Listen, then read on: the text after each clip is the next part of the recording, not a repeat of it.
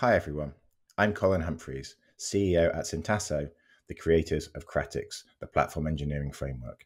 Today, I'm going to be talking to you about 20 years platform engineering, 10 years platform as a product, and the five lessons I've learned during that period. Now, I started my career back in the late 90s in tech support at a computer shop. I started building platforms in 2004, and I built platforms for some of these kind of brands, brands you'd recognize. And I'd like to think I built out a reasonable proportion of the internet. I founded my first startup back in 2012, which was Cloud Credo. At Cloud Credo, we collaborated a lot with a number of companies, including Pivotal. And we worked with Pivotal on uh, the foundations for building out something called Platform as a Product. And we co authored a white paper called Why You Should Treat Your Platform as a Product, which has been highly influential. My startup, Cloud Credo, was acquired by Pivotal. And I was then working at Pivotal for a while. Pivotal, as you know, was acquired by VMware. Uh, I left VMware with the founding team from Cloud Credo three years ago, and we're now building Kratix, which is the platform engineering framework. Today, I'm going to be talking to you about these five lessons learned during that period. Firstly, employ a product mindset. Then, find the right abstractions for your organization. Democratize your platform. Everywhere is brownfield, everything is complex. And lastly, day one is easy, day 2000 is hard. So let's look at employing a product mindset for building platforms.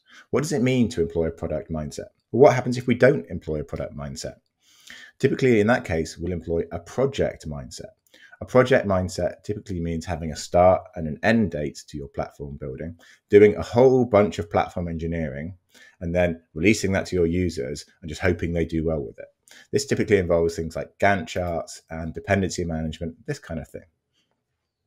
Well, I think if we think about uh, um, building great platforms, you have to realize building platforms is more than just the engineering element, more than just the building element. We also have to think about what do our users want, and we have to listen to them, learn from them, get feedback from them, and then iterate on our platform. So I want to say that platform engineering is necessary for building great platforms, but it is not sufficient. You also need product management. You also need design skills because if you're going to build a great platform, you need to find what is not just feasible from engineering, but is desirable, your customers want it, and is viable for your company to build out. And if you bring those three things together, you will have a successful product. And if you employ this uh, way of thinking with your platform, you will build a successful platform product.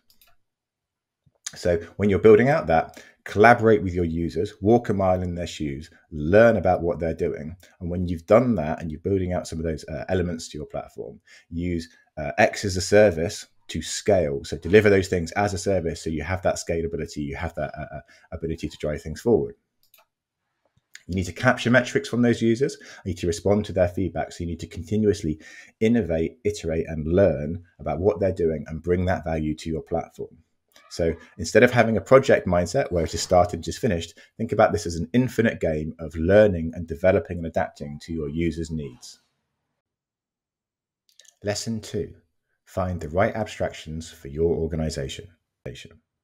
Prior to platform engineering, a lot of people like me were doing what I would describe as bad DevOps. This is where you take the you write it, you run it mentality, and you decide that your team is going to build the entire platform themselves, and every team in the organization is going to build the entire platform themselves. So I had a lot of success working with a big charity in the UK. Here's a blog post I wrote. Um, about the success we had with that charity.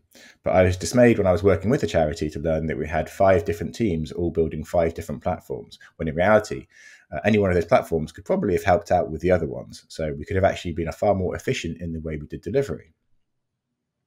When I speak to CTOs at the moment, they tell me that approximately 80% of their application team's time is spent on toil, is spent on building their own little internal platforms, is spent on operational workloads, and they really want to reduce that. So I think platform engineering can really help to reduce that if we find the right abstractions in those businesses. When you're looking for those abstractions, you need to think about what is common to the teams in your organization, but what is unique to your business. If something is not unique to your business, you're most likely ever be able to buy it off the shelf or found a cloud service that already delivers it. And you should use those things rather than building it yourself. In platform engineering, we should look at delivering what is unique to the business the platform's being built in but is common across the teams that the platform is serving. And that's how we can bring efficiency and we can bring security and we can bring productivity to the organizations we're building platforms for.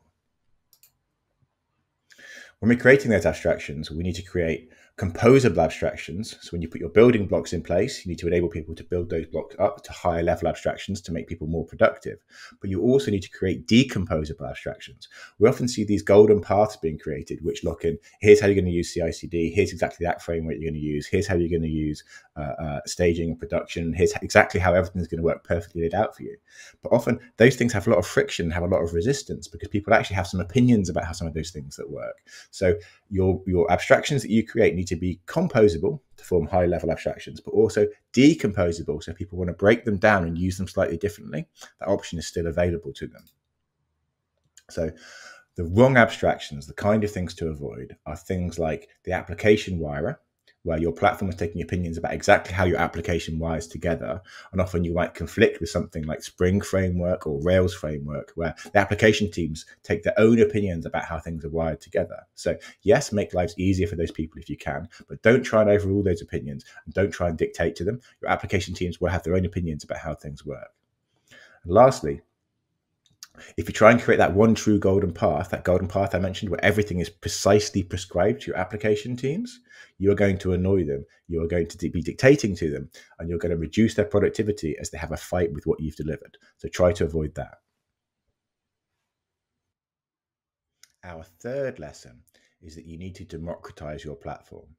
So to deliver meaningful, productive, valuable software in an enterprise often involves a variety of stakeholders, a variety of people need to get involved.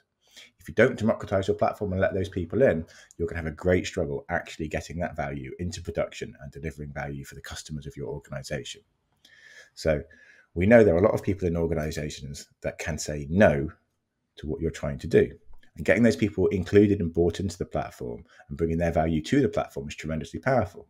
So I worked with a large American insurance company about 10 years ago, and they were they had a system where they were um, uh, taking uh, up to two years to get value into production. It was ridiculously complicated. All the things had to go through, all the compliance, all the governance, all of those kind of things.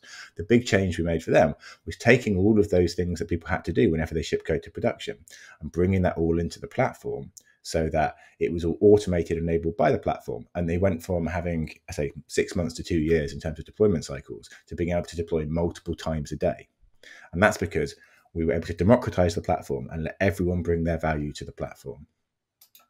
So creating the self-service API for your platform, that's just table stakes. Any platform should have a self-service API that has various different interfaces available to it. You need to go above that and think that you help other people bring their value to that self-service API. So help your subsystem teams, people like your databases, CI/CD, identity, all of those teams that are creating value, help them bring their value to the platform and contribute and collaborate to that platform.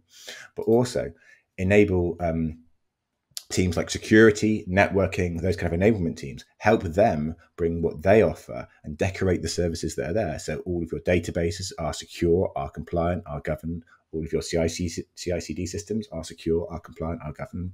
So you have these subsystems, those teams, you bring them to the platform, and then you take your, take your enabling teams that have that kind of uh, uh, cross-cutting needs they need to apply everywhere, like security, networking, etc. Enable them to decorate the services with what they need, and that is how you can democratize your platform. Lesson number four: Everywhere is brownfield. Everything is complex. So during my time at Pivotal, I was heavily involved in taking Cloud Foundry to the world. Cloud Foundry is a platform as a service focused on 12 factor applications. And we would go and talk to people about their applications and say, oh, you should rebuild everything, uh, uh, refactor it all, and bring it along as a 12 factor application to Cloud Foundry. And for some places, that worked well. For other places, that didn't work quite so well. I remember talking to a CTO at one of the world's top banks. He told me he loves Cloud Foundry, but what else can we do for the other 99% of his workloads that didn't work well in Cloud Foundry. So that leads you to this sense that, yes, if your org is small and you've got like very basic apps going in there, please feel free to use something like Heroku, Netlify, any other kind of platform as a service. But if your organization is significant, has scale, has compliance, has governance, has heritage applications that have been there for a while that maybe don't kind of conform to platforms as a service, you're going to have complexity. So basically, any enterprise is going to have lots of stuff there already. It's brownfield stuff, and everything that's going to be there is going to have some complexity to it because of the regulations, the compliance, the governance, the the systems that exist within those organizations. And that makes things challenging to work with. But we have to be honest about that and think that our platforms have to adapt to that landscape rather than trying to dictate to it. No, no, no, no, no. Those applications aren't allowed on the platform. So, beneath that, in any organization, you're going to see that there is no single infrastructure layer. So, you can't just say, well, everything's on Kubernetes. You're going to see lots of Terraform, Pulumi, you're going to see cloud APIs, you're going to see the infrastructure of code tools, your Chef, your Puppet, your Ansible, your SaltStack, all of that kind of stuff. You're going to see lots of scripting, some declarative stuff, some imperative stuff. Your platform is going to have to work with all of this if it's going to bring real value to your organization. What you need to focus on with your platform building is enabling people to bring their value in an X as a service mentality. So you need a clear, consistent API in front of the value people have been bringing, not just bringing now, but people have been bringing for a while. So there's more le- legacy heritage services. So that clear, consistent API needs to be there for your old and for your new resources if your platform is going to deliver true value inside of your organization. Thousand is hard. So many years ago, 10 years ago, uh, I gave a talk at DockerCon 2014 where I announced a scheduler. And it turned out five different organizations announced schedulers uh, on that day. One of them was Kubernetes, interestingly. Um, someone came up to me after I gave that talk uh, who was running a containerized environment, that, uh, running containers that had been built with Docker. They had 30,000 containers they were looking after, and they'd scanned them, and approximately 90% had the Heartbleed bug, and they said to me, okay, people have had this really nice journey with Docker building all these containers, but now I've got Heartbleed across all of them. I don't know where they came from. I don't know who built them. They're just there. What can I do about it? I couldn't really give an answer to that because this is really tough. So it was very easy day one to build those containers, but maintaining them was really, really difficult. So that's why we say day one is easy, day 2000 is hard. How do you work against this? Well, you need to organize and standardize. You need to take control of the fleet of things you're looking after. You need to get them into a structured setup so that you understand where they're at, which versions they're at, what software is really installed there. And you can do this via that X as a service mentality, thinking about standardizing the things you offer as a service.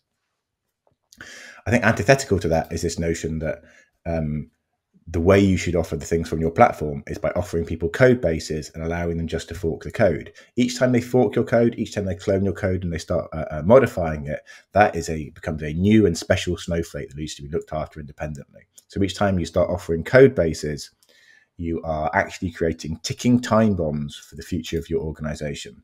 So sharing code is a maintenance nightmare for your organization. Don't share code. Deliver things as a service as I mentioned, as a service, uh, manage the fleet. So when you're delivering things as a service, don't just create them, leave people with them. You need to take everyone forward on a journey where they're continuously upgraded, continuously secured, continuously compliant if you bring all the resources that you deliver as a service with you on that journey, just how the hyperscalers do, think about the public clouds, think about how they're taking people with them on that journey when they are offering things as a service at scale. Bring that mentality to what you're doing. You need to take everyone with you on that journey. Otherwise, when you're handing them resources that they have to maintain, that they have to keep secure, you are just giving them a maintenance burden.